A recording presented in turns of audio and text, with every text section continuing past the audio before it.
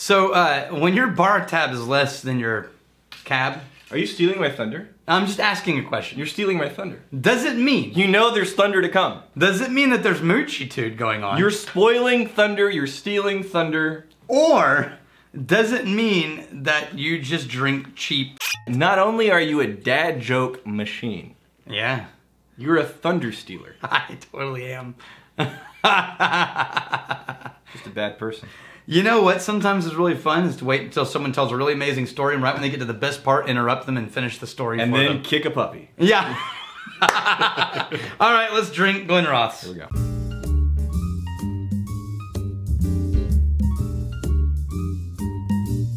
All right, Glenrothes, we're drinking. Mm-hmm. Uh, requested by Pippa Robinson. That looked like the Balblair bottle.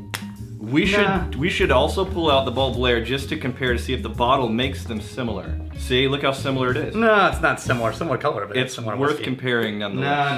no, no, no. Nonetheless. No, no, no, no. We have other things to compare. We have. Rex, you are the greatest whiskey mooch. Uh, Pippa Robinson requested this one. Mm-hmm. What Pippa doesn't know, and by the way, this is not the Select Reserve. Pippa, you said the Select Reserve. This is the bourbon cask. Ooh, I like it. Okay, so um, it, it smells like liquid, uh, liquid Werther's Originals. Already on the nose, I like. Like yeah. just butterscotch candy. Totally butterscotch. Now here's what's interesting: the taste, Yeah. slightly bitter and earthy and dried grass notes. Mm. And so the taste, total contrast to the smell. I really love this whiskey. Um, I didn't love it at first because it was so candied sweet. But the more I tried it, the more I was able to find a little bit of the earth notes ba- back in there. So it's, And here's what's weird about complex. yeah, it's complex. I think it's not as complex as someone think. I also really love what they're doing, which is just and they started this a while back, a long time ago, maybe one of the first. Remember how Balblair is doing vintage releases, Hmm. where they just say, "Hey, this was bottled at this time, and so we're going to release it as a ten-year-old." Yeah. Okay, that's what they're doing. Okay. They're going around the, the distillery, trying barrels until like this barrel's ready, Right. and then they just bottle it as a bourbon reserve, regardless of how old it is. Did you when just- they think it's ready? Did you just mention a whiskey? I know. I really did just mention Ball you, Blair. you, you mention it. no, it doesn't taste anything like it though. It's not even a fair comparison. I challenge that. this is such a coconut. I get coconut all of a sudden. So you're talking about complexity. Uh, I smelled it, and I actually get less butterscotch than what I was anticipating. So you're saying the taste is different, um, and it's complex, but not in terms of there immediately being simultaneously multiple things going on. For me, it unfolds and evolves into different flavors over time. So you'll have a flavor, a few seconds later, it turns into a different flavor, a few seconds later, a different one after that. It's not Yeah. everything at the same time. No, it's earthy. I mean, the aftertaste is totally different than the first sip. It's it's a damn good whiskey, man. I yeah, and this is very friendly. You used to be able to get this at Costco when I lived in California. Not challenging at all. But um, eh, I, Oh no, not challenging. I um, No. I think I like the smell better than I like the actual taste. I agree with that. Mm. It's a bit astringent on the flavoring. Yeah, saturated, big sweetness there. Now, you want to hear a cool story It goes from apple. about Glenrothes?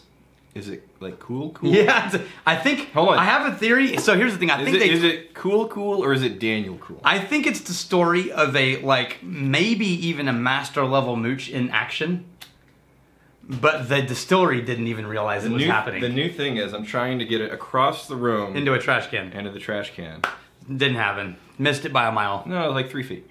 Mile. And I'm not throw. I'm not throwing. I'm flick, This is not horseshoes. I'm flicking. Close doesn't count. flicking. And if I get that, then I get all of the Macallan M. Ah, crap. Uh, suddenly you can this- put the trash can anywhere. Suddenly, this game became a lot less fun for me. okay, so uh, no, I think Glenrothes told us by accident the story Mm. of a master level mooch, and uh, they didn't even realize what was happening. Are you ready for this? Yeah, yeah. So way back in the day, um, Colonel Grant, who founded Glenrothes, was in Africa on a safari. He finds an orphaned child on the safari. Takes him, brings him back to Scotland. And he ended up working for the distillery and for the family and hung out, and he was one of their people, right? So he died, even played on the local football team, right? yeah. Um, his name was Biawa Makalaga.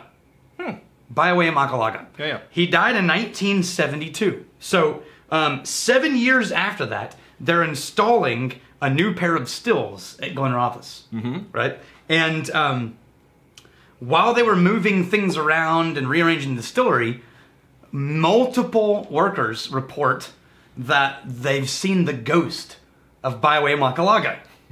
And he's scaring everybody, and no one wants to work anymore, right? They're having problems. Like the ghost is. So, and here's where the master mooch comes in. Are you ready?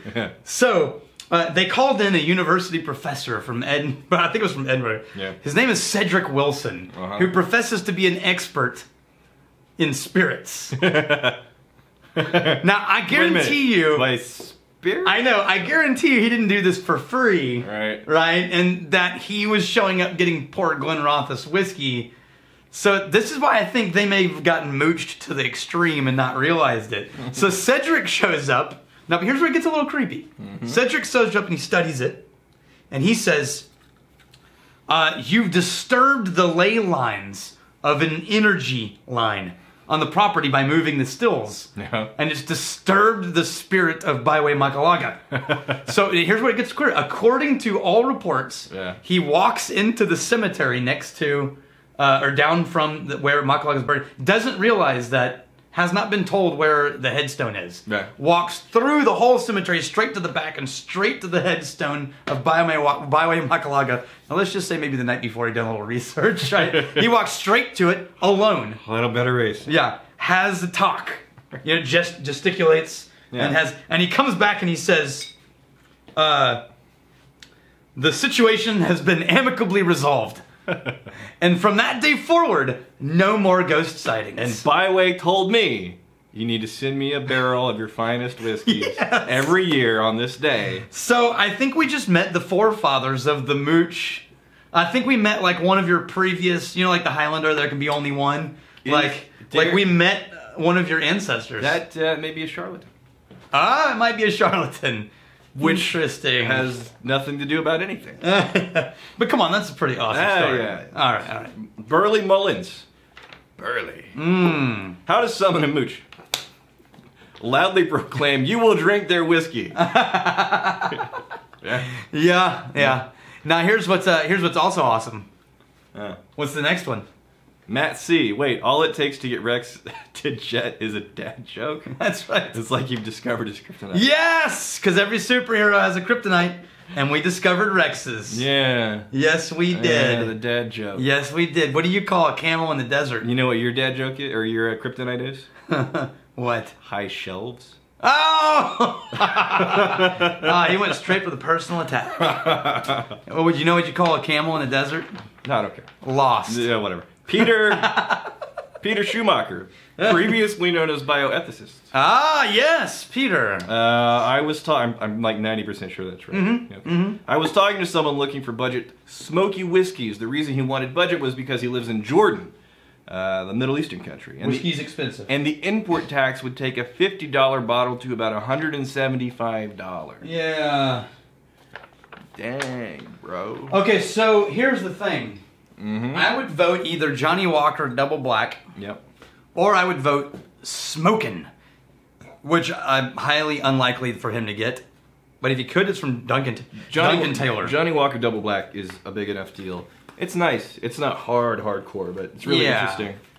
But Smokin' is a cheap budget and it's smoky. Yep. And it's from Duncan Taylor. If he could find that, that's a good one. Sure. Uh, Tracy Simpson. Hallelujah! I finally caught up. I've been watching all of the numbered episodes in order and now feel as though I can contribute to the community, if only occasionally. Hmm. Rave, rave, rave, all the accolades you received a hundred times over. From the other commenters, I concur. Also, I may be your only only viewer who was introduced to the modern rogue through the Whiskey Vault. Hey, we sent somebody the other way. No, no, there's millions of you. Yeah, yeah, millions. Hmm. Brian owes us big time. Hey, look what I'm doing here. Yeah, yeah, yeah. Just Yeah, don't is you. Don't screw it up. I'm giving you a mooching opportunity here. Also, I made Don't a screw it up. sexy Rexy. What is your job there? You seem. what do you even do? I like that you have nicknames. Sexy Rexy. Uh, you seem patently unqualified to receive a paycheck. Come on, look at that. That's pretty good. To receive a paycheck for any service rendered. That's sort of the inherent quality of a mooch, I think. And I'm beside myself with curiosity as to why Daniel keeps funneling whiskey into the black hole of moochitudinous. Perhaps it is your ever uplifting comic relief, balancing, balancing out Daniel's litany of historical facts and boring encyclopedic. Oh, throwing shade. I think that's what the kids are saying these days. Totally put that. I- I, didn't add a word. he added boring. Uh, No, it's right good there, times. see? Uh, see, I See can right there. Uh, seriously, guys, love the show, and seriously, what is your job, Rex? Can't wait for the other channels. All hail the Whiskey Vault. Thank you, Tracy Simpson. It's very kind. Well, his actual job is video guy. yeah, I'm an, I'm technic- I'm not on the payroll here. No, I'm a neighbor. My studio's like 100 yards away. he makes a shit ton of video. I and gets paid like four million dollars for every video he he makes. Well, I have to. Come on. Yeah. Come on. uh, I just help the Academy with all things video related. Finish this so I can pour you this. It, wait. This is the same whiskey sherry cask finish instead of bourbon cask finish. Notice the color difference. This is the Glenrothes Sherry Cask Reserve. So I this is one of those whiskeys that I would rather smell than drink. The Glenrothes. Um, I'm I'm thinking that the sherry is no different. Yeah? It's going to be even sweeter, is my guess. even sweeter. Wow. I think I'm right. I think I'm right, just from the smell alone. This was just too much. There were there were multiple notes. It wasn't a single note, but there was just too much of a strong satu- saturated uh, sweetness yeah. all throughout that. I'm getting m- even more butterscotch on this. Wow. Oh no, there's smoke in that one. I think there's peat in that one. Do you think it's because I I like it a lot better. I haven't tasted this yet? Do you think it's because you got acclimated with something so sweet? No, I don't think so. Okay. I really don't think so. I, that sherry is way more interesting. It really is. Yeah. Hmm. Hot damn. It is. I wish I'd known that earlier. well, it's definitely preferable to the bourbon cask. All right, until tomorrow, may your crazy stay this side illegal. May your bar tab never be bigger than your cab fare. Ah! From Kevin Paisley. ah, cheers. Hey, thanks for hanging out with us in the Whiskey Vault. Don't forget to throw in a like, hit that subscribe button on the bottom right, and drop a question or comment down below.